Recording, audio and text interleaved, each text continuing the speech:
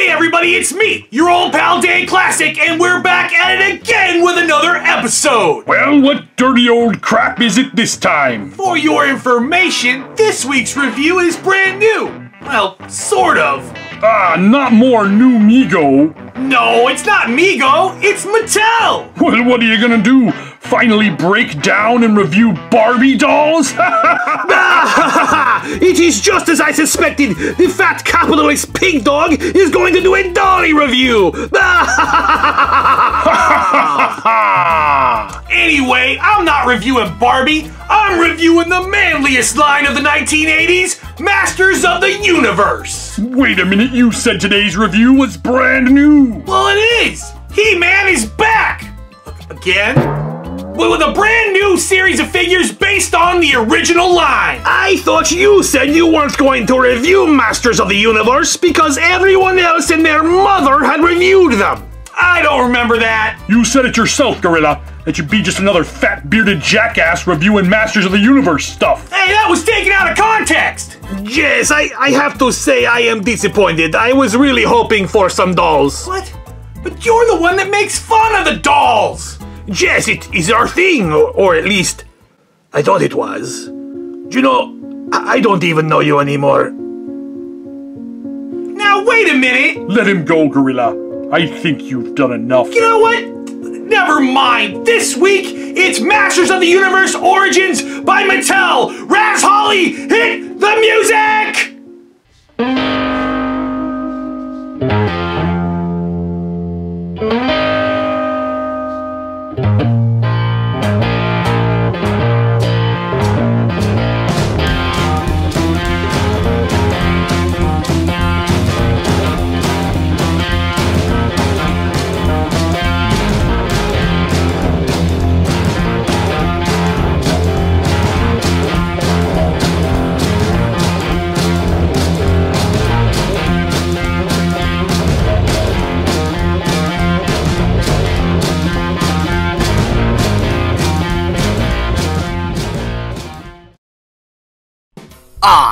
1980s. This is where I grew up.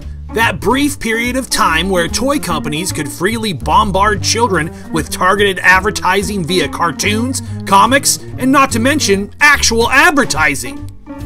A bunch of phony baloney government types would eventually put the kibosh on this golden age, essentially killing off Saturday morning cartoons and ushering in a new era of media mediocrity that we may never recover from. Anyway, in 1982, Mattel was tired of getting their dicks kicked in by Kenner and the glut of Star Wars success they were enjoying. So they unleashed a media franchise that could put a dent in the toy market. A sword and sorcery tale with a sci fi twist, Masters of the Universe figures were 5.5 inches high and buff as fuck. They were made to look like they could kick the shit out of the 3 and 3 quarter Hasbro and Kenner figures that currently dominated the market. Mattel's decision to go big paid off big time as Masters of the Universe would go on to huge success. Mattel would continue to churn out new figures and use the animated show to sell them. But all good things come to an end, and as toy shelves were choked with who gives a shit late editions, not to mention an entire subline for the ladies called She-Ra, Princess of Power. At this point, most consumers lost interest and moved on to other lines or aged out completely. But it wasn't long before Mattel would give He-Man another try. Multiple times in the last three decades, He Man would return. First, they gave him a new look and story. Then, when that didn't work out, they went for a gritty reimagining. And when retro became cool, Mattel was there to whore out the He Man license once again. And again, lending the license off to other companies like Super 7 and Funko to varied results. Mattel even got into the collector game a few years ago with the Classics line, again reimagining the line from a more modern adult collector perspective, selling the figures all over again for outrageous prices in limited numbers. The scalpers had a field day with these, and still do. Cut to 2020 and Mattel returns He Man to his origin the toy aisle with a line of mass produced action figures that lean away from the collector concept and more to a time when you could actually afford to play with these pieces of shit. The figures are nearly dead ringers for their 1980s counterparts, but sport more modern style articulation. They look pretty cool, actually. Anyway, I got the first series of Masters of the Universe Classics line, so let's check them out! Okay, let's get started here with the most, most powerful, powerful man in the universe, He-Man. And as you can tell, the packaging here is a dead ringer for the OG Masters of the Universe packaging from the 1980s with the uh, broken red rocks and the and the blue top and the Masters of the Universe logo and the, the name. Um, the only thing that's different here is we have this little gimmick here that says modern posing retro play. What the fuck does that supposed to mean? Um, so I, I, guess what it's supposed to mean is that these figures are uh, they have modern articulation. Um, they they move. You have uh, elbow and knee joints. Um, they're they're not like the old figures. And we'll take a look at an old figure here in a little bit. Um, but let's take a look at He-Man first. Um, he looks very nice in the box. You can see the entire figure. Um, you see behind him he has his accessories in the package as well. Also, you can tell that he has his uh, comic book in there, and we'll get to that is that as well. Ages six and up, uh, the Mattel logo. Uh, proudly displayed. Um, and as we turn the box over, we have some really awesome looking cover art on the top with the mystical power sword. The mighty He Man protects Eternia from the forces of evil. Includes comic book. Oh, we'll get to that. Uh, modernizing and celebrating the original 80s Masters of the Universe action figures, Masters of the Universe Origins gives you the power to pose Eternia's greatest warriors as retro style figures or in new action packed battle positions. And then we have some uh, descriptions here. You can fit the power sword into the hand, twist into powerful battle positions, sort of uh, showing you the articulation of the figure. And then we have the collect them all right here with all six of the Series 1 figures. I got them all, but we're going to check them out. So let's go ahead and check out Skeletor! Uh, and here he is in his box as well. Same box cover art as everyone else. They all look exactly the same. They come with the exactly the same fucking comic book for some reason. Um, I'll get to that when we open it up. Turn it around the box. We have some really awesome looking box art and the caption that reads, The nefarious overlord Skeletor wants to control the power within Grayskull. And uh, some really sick fucking art of Skeletor raising his staff high. Um, and then it shows you can fit his Havoc staff into his hand and twist into powerful battle positions. Uh, collect them all. All your legal mumbo jumbo horseshit made in China. Big surprise. Moving on. Moving on to Man at Arms. Man at Arms, uh, again, same same box with everyone in line. Um, and you can see this is Man at Arms with a mustache. Check that out. Um, the original figure did not come with a mustache, but on the cartoon he had one. So uh, there was always this thing like, you know, why didn't the figure? Anyway, it was just some decision they made, and so he's got a he had a mustache on the show, didn't have a mustache on the figure, and they've rectified that to modernize the figure, I guess, with his little uh, bicycle helmet and his green gear. He comes with some cool shit, and we'll see that when we open him up. The accessories are hidden behind the figure in a plastic bag, um, so so not to obscure uh, the figure in the box. Very nice looking packaging on this. On around, around the backside here, uh, Weapons Master and Royal Advisor, Man at Arms assist He-Man in the battle against evil, and we have uh, Man at Arms shooting a beam out of his arm and there's a dragon, and it says includes comic book. Oh yeah, we know. Fit mace into hand, twist into powerful battle positions. Uh, are you sensing a pattern here? Uh, every single goddamn time. Twist into powerful battle positions. I'm Marty Mattel. Uh, just kidding. Oh, let's take a look now at uh, Skeletor's man at arms, which would be Beastman. Um, Beastman, super cool. He always kind of reminded me of an orange Sasquatch, sort of, or or like a, a orangutan man, maybe. Who knows? Um, he's fucking cool looking, looks great in the box. Turn it around, we got some awesome fucking art here.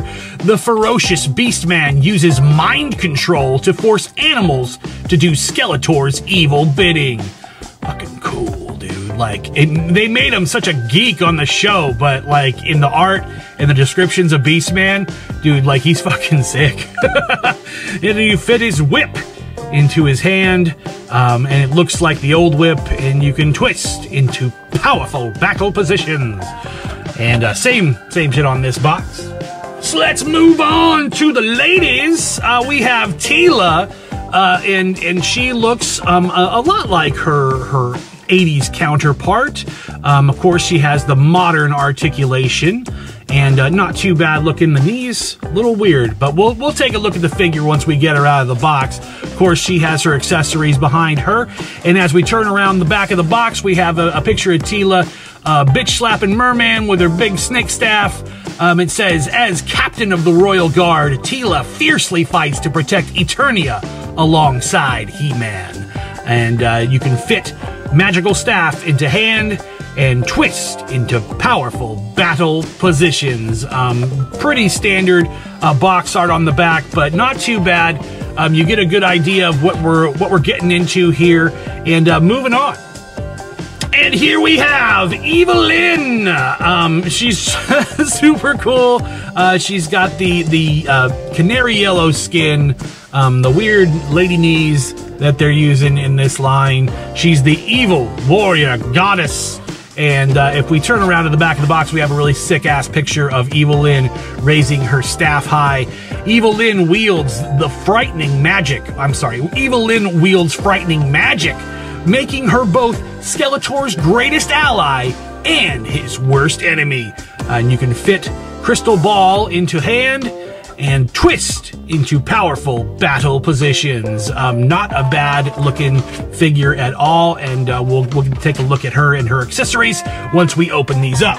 Finally, we had um, a couple of uh, uh, vehicle type things in this line. Um, this is one of them. I didn't get both. Um, there's one on the way. I didn't get everything quite yet, but uh, this is Battle Cat. Battle Cat um, is uh, He-Man's fighting tiger um, and and best buddy. Um, and on the, if you remember the TV show, he he turns from a Cringer, the cowardly comedy relief figure, into uh, a, a raging fucking tiger that's got armor and he's dope and, and awesome. We have some really sick cover art here on the box, um, uh, showing He-Man uh, atop Battle Cat.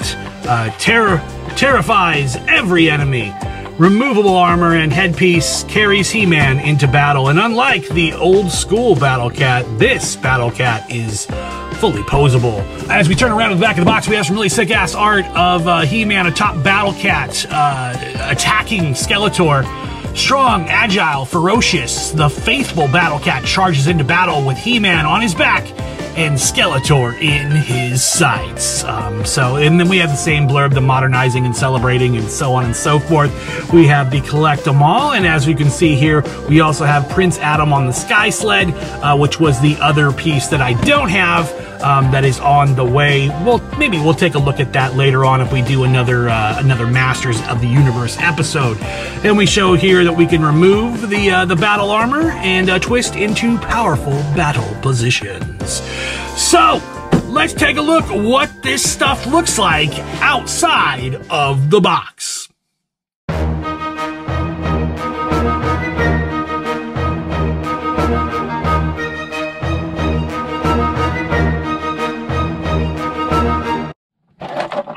Let's talk packaging before uh, we move on here. Um, so here is uh, what we kind of end up with once we open up the bubbles. We still have every single one of these figures attached with little clear fucking rubber bands. Um, their their fucking accessories are taped to their asses, so we didn't need the rubber band to hold down the accessories.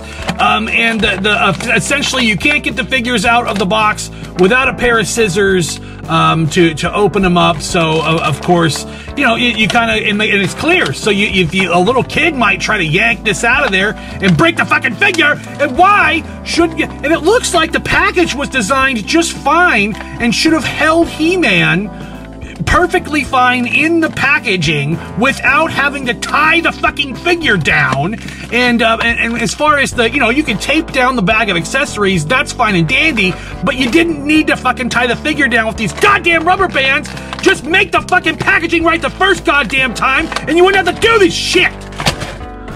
Even fucking Battle Cat is fucking tied into the box. I need a goddamn pair of scissors to open these up. On top of which, on top of which, in the in the package, we have not one, two, three, four, fucking read them and goddamn weep, six fucking comic books and, and six of a kind. I've got all the same.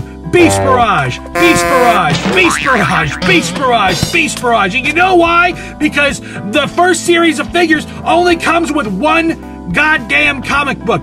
One four page fucking comic book. Wow.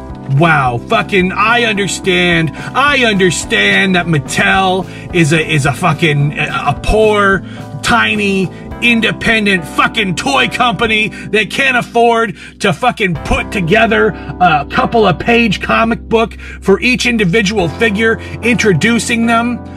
Really? Really Mattel? This is what we get? We get one? We get one? And it, I mean, it looks okay.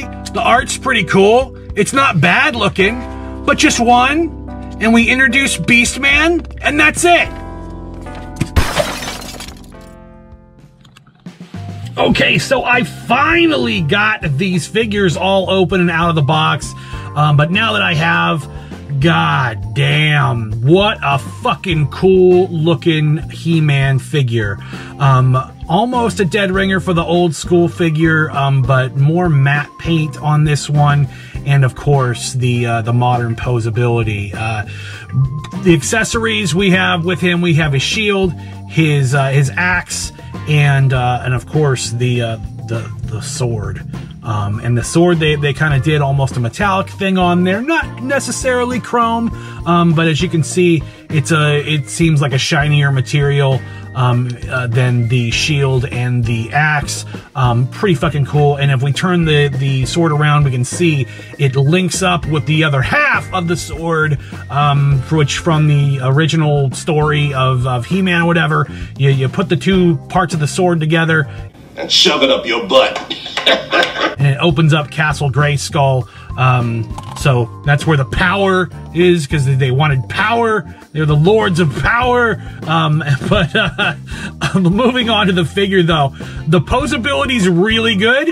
Um, one goddamn gripe I have with them, though, is that these elbows, um, when you first open them up out of the box, you really got to work them to get them to start working, and you feel like you're going to break the figure um, getting them to, to actually bend. But once you do get them going, uh, man, they look cool. We do have a couple of little fucking issues on here. I have some yellow fucking paint um, on He-Man for some reason. Have no idea how the fuck that happened. Um, and uh, the face, um, I think it looks okay. It doesn't look. It's not exactly like the old uh, figure, um, but still pretty cool. Not bad. You know what? I don't. I think when I when I saw pictures of this online, I didn't like it, but now that it's uh, sitting in front of me, this is actually a pretty fucking cool figure. Um, so that's He-Man. But before we uh, chuck him out of the out of frame here, let's bring in Battle Cat and see what He-Man looks like. Let's get the sword back on there, and uh, put you can put He-Man right there on Battle Cat, and he can he can ride into battle. Um, let's pull out a little bit here. Um, look at that. Look at this. Wow. Fucking so cool. Battle Cat. Fucking, now we can do that. See you, He-Man. All right, so now Battle Cat, fucking, um, with all the posability. The old one you could not pose. This one's got knees, hips, um, swivels, uh, the the head, the mouth. Like, Rah! Rah! So cool. Course, you can take off the uh, the armor, and you've got the green tiger face underneath there. Um, but man, so fucking cool. This is one of the the neatest purchases uh, for me uh, so far this year. I, I, gotta say, very very fucking impressed with this. Not bad. Um, after we get it out of all the goddamn superfluous shitty packaging. Um, this is actually a really sick figure. I am super glad I got this. All right, so here we have Man at Arms. Uh, once you get all of his accessories on him, he really looks cool. So he has two pieces here on the arm and a piece on the leg. Of course, he has his chest piece, but that's already attached um, when it comes. It, we, we see it's attached around the back here um, with 2020 Mattel Made in China, all that good shit. Um, but wow, what a cool looking figure. He also comes with his club. Um, he has a holdy hand and a smacking hand. Um, here's one gripe. So these fucking fingers, a couple of these figures, like their their fingers were all like kind of off to the side um, and, and bent um, because they're made out of very soft plastic. Um, so uh, th there's one thing. I, I, I don't know how, what the fix would be on that, um, but I, I wish they the, the, the, hands didn't look all goddamn mangled um, as soon as I bought the, gra grabbed this thing out of the box. Um, but yeah, other than that, dude, the posability on these things is pretty great. This is an awesome looking figure. He looks like Tom Selleck in, in a fucking robotic armor, so he's fucking really great. All right, and so here we have Beastman um, with all his accessories included. He has these arm gimmicks, of course, his chest piece, and this uh, cool whip. Um, which uh, it's kind of weird looking. I mean, the way they set it up, it, it's almost it looks like a, uh, a fucking spyglass, like like he's off looking off into the distance, or a, a fucking beer bottle, or uh, um, a fucking megaphone, like "Hello, do what do I tell you to do, animals." Anyway, uh, Beastman's got this fucking whip, um, and you can. Um, in the old figure, you could swivel the the the waist and it would spring back and he would swing the goddamn whip around and it was pretty cool. Um, on this one, there's no such uh, thing on there. Um, and I understand they, they took away the action figure to, to you can get crazy cool poses on them and uh, really nice looking poses on all these figures. I keep saying that, but man, it's so true. So many awesome little points of articulation on them. Um, they really uh, went all out on these. Mattel did a good job. Um, it, you once I got them out of the, the fucking ridiculous packaging, these figures are fucking pretty sweet. All right, and so next up here we have Teela um, in her awesome gear with her tiny little shield and uh, her dope uh, snake staff. This is a really sick looking figure. Obviously, I think back in the day they they must have based this character on a Red Sonja, maybe. I don't know. I know the original uh, Teela was supposed to be fucking green or some shit. These fucking figures though are really fucking sick. Um, I love the little cobra headdress that she has. Um, you can remove it. I don't know why you would, but looks great though. Looks, dude, looks the just like she does on the animated uh, show. Um, and then we got this the snake staff uh, made out of a harder plastic, actually, not a soft plastic like back in the day um, that, that would become all wavy and weird, even though it is supposed to be a snake staff, so it can be. But uh, yeah, very fucking cool. Her tiny shield, great detail on there. The paint job on this figure is awesome. The posability is cool. Not sure if I'm a fan of the fucking knee articulation, but I don't know if there's a better way to, to do this. Um, and uh, and so there you go. But still, uh, Teela, great figure. All right, and here we are with Evil-Lyn. Um, wow, very fucking cool looking figure, very good likeness to who it's supposed to be. Um, you know, Evil-Lyn from the series with her uh, with her yellow skin. I know there's another, there's an alternate Evil-Lyn that has uh, regular colored skin. Um, I'm always a big fan of the yellow one. Um, very cool with the blue and yellow. The, the colors just pop. It's a very sick looking figure. She's got her crystal ball. Um, it seems short does this seem shorter? It, let me know in the comments down there, Stankus. Let me know was this shorter in the fucking 80s, this step, or, or was it longer in this? I remember this being longer. I had this when I was a kid, the original figure, and I feel like the staff was fucking longer. Um, I, I feel like Mattel's fucking cheaping out. Also, they made it a little fucking wide. I really had to like stretch your hand out to get it in there. That's what she said. Michael. Michael, please. Please. Come on. Um, so I don't know.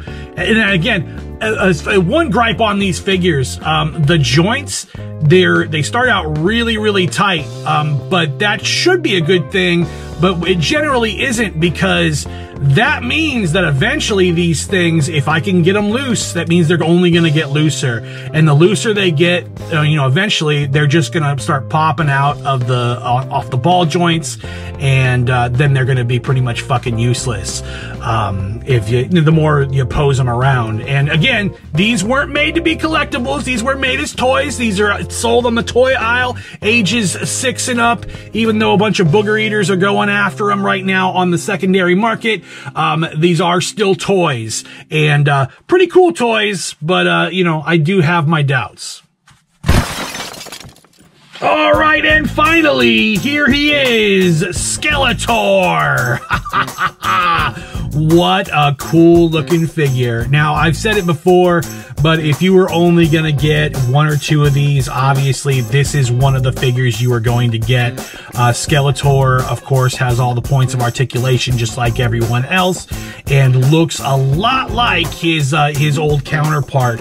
Um, man, but wow, what a cool looking fucking figure we've got here. He comes with his staff. He also comes with his sword, um, the uh, in in purple, um, right here as we have here. And if you see, um, you can take uh, He-Man's uh, sword, and we can we can put them together, and together combined, their powers combined, they can open up Castle Grayskull, or or you can uh, the rule Eternia or or something. Um, but pretty darn cool. Um, you know the accessories that that go together. The old ones kind of did that too. Um, and and just so you know, I do have an old fucking Skeletor here. So let's take a look and see what his 1980s counterpart uh, looks like. Here is a 1980s Skeletor, um, and as you can see, little differences. The colors of the costume are are a little different, um, and then the head sculpt. Um, the new one, they decided to go with the laughing skeleton. Here, man. Um, sort of a laughing Skeletor. Um, this one just has the uh, the yellow and green skull. Um, very, very fucking cool. Um, both of these very cool, actually. Uh, I like the old one. I like the head sculpt on the old one a little bit better, I gotta say. Um, but if you, as you can see, the hands, one one smacking hand and one holdy hand. Um, and one thing I always thought was kind of funny, you can give them give them the old uh, the old thumbs up. Hey!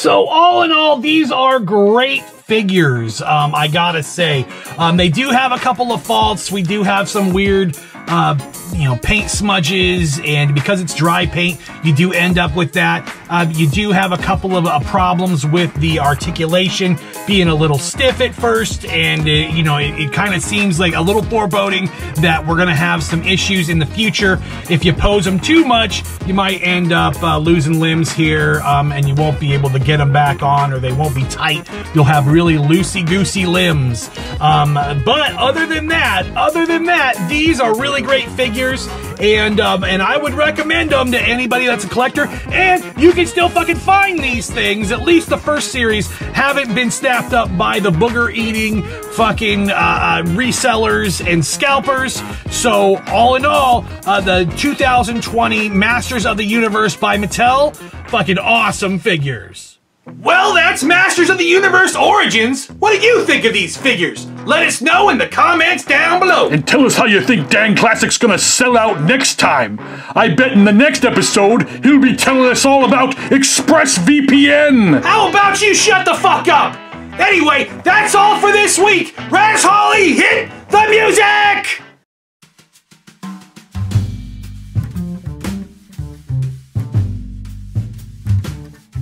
Bye.